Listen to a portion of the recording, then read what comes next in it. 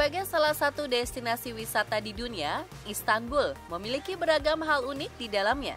Tak hanya kaya sejarah dan budaya, kota yang menempati peringkat 6 berpopulasi terpadat di dunia itu juga menjadi pusat perekonomian Eropa dan Asia.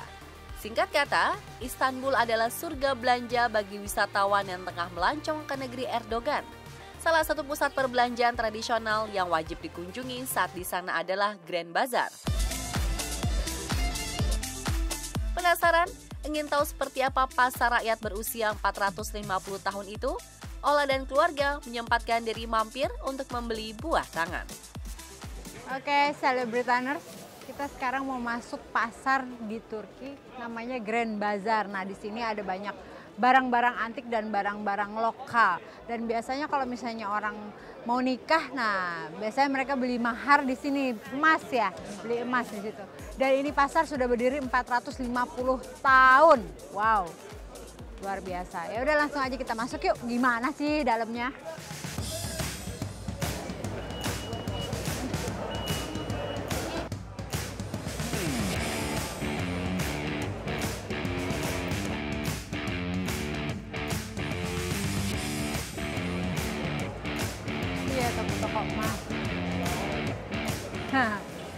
Kayak di Melawai kalau di Jakarta ya. Thank you.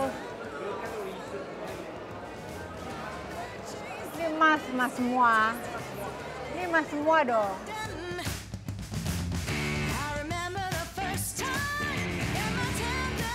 Meninggalkan deretan toko emas, blok berikutnya yang menyita perhatian adalah pernak-pernik dan merchandise.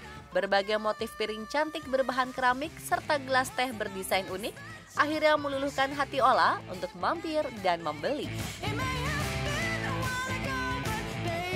Yang bagus ya nih ya. Bagusan mana? How much this? This is like 650 lira. 650 lira. This is 400 lira. This one. Yeah, because last making, last price. This is fake one. It's more cheaper. Can I see this?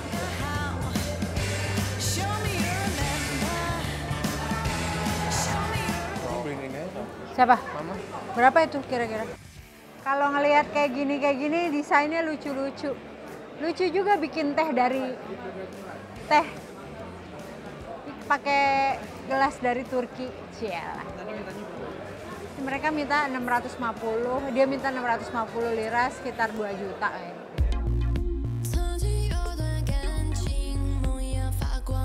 Takkan ada habisnya jika mengikuti nafsu mata. Semua barang yang dijajakan sangatlah indah dan menggoda kantong untuk membeli. Mulai dari jaket, lampu gantung, pernak-pernik, hingga karpet membuat Ola lagi-lagi tertarik untuk memiliki. Yang I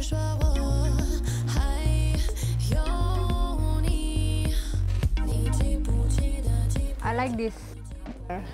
The blue. The blue. Yeah. And shoe blues. Nice details. The beautiful blue. Yeah. They're all beautiful pieces. Those are less expensive, of course. That one is bigger size. How much for this? Which one? This Are really good, good rug. This one is around nine hundred fifty dollars. 950 dollars. Look at this one.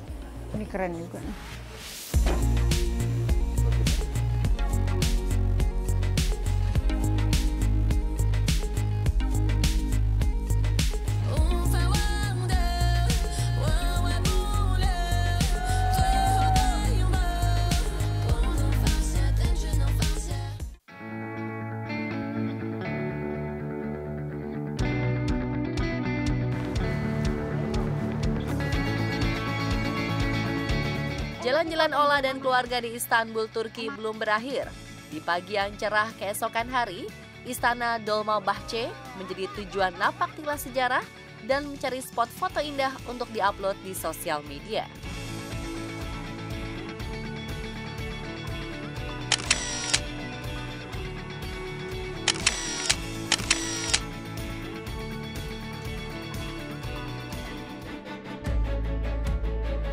Sedikit mereview, Istana Dolmabahce mulai digunakan sejak tahun 1856 dan menjadi tempat tinggal Sultan setelah pindah dari Istana Topkapi.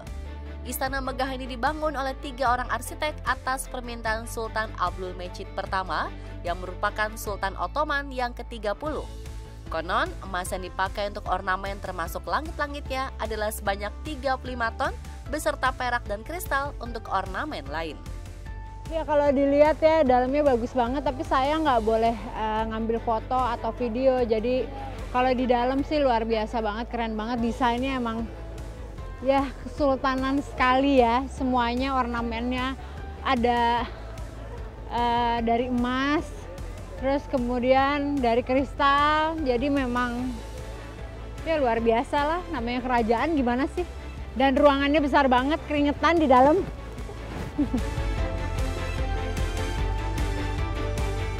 Tak terasa, lima hari pun berlalu di Istanbul, Turki. Meski belum puas jalan-jalan, kesibukan Ola sebagai artis sudah menanti. Alhasil dengan berat hati, ia beserta keluarga harus kembali ke Jakarta dan mengakhiri perjalanan. Kesan-kesan sebelum kembali ke tanah air pun tak lupa ia sampaikan sebelum pamit undur diri kepada pemirsa selebritas siang.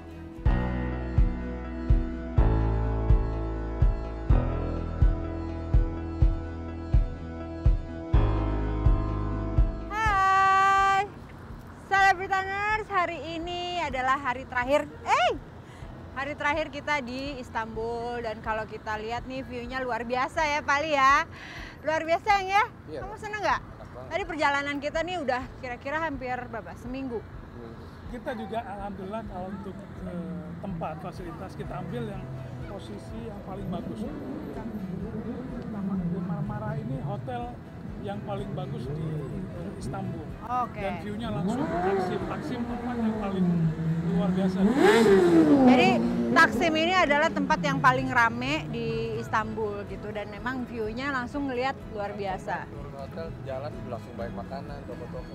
Mm-mm, banyak makanan, banyak toko-toko. Sebenarnya ini adalah first uh, first travel yang jauh buat aku gitu loh. Jadi pertama kali aku jauh uh, bersama anak-anak karena biasanya umroh. Yang paling jauh tuh umroh bro.